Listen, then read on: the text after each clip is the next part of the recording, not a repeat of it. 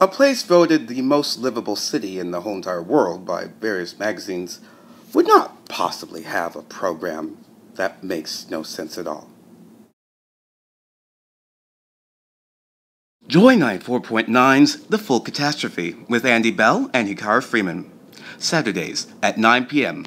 That's Australian Eastern Standard Time, mind you. Brought to you by joy.org.au backslash The Full Catastrophe.